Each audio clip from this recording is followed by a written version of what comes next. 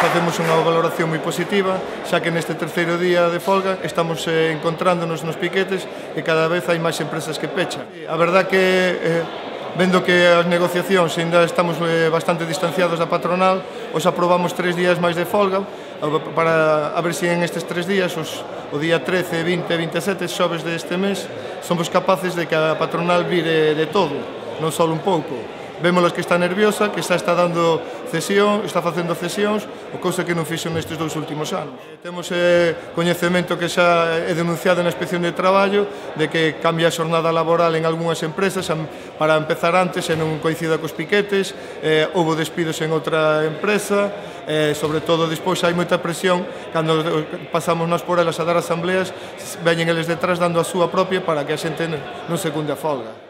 Temos aquí, chamache a Guardia Civil. Andi paseando toda a mañá para que a xente entre. Pero non porque ti Deixa a xente marchar se quere marchar, que ten o dereito a ir a fora, deixa, porque mañá por non volven, por votar fora. Mañá votarlos fora. Aquí chegará a súa hora.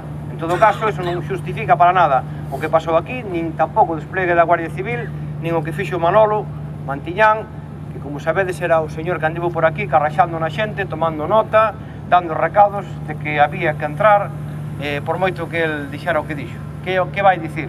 Un exemplo de explotación como este home e, de, e do que queren facer co convenio.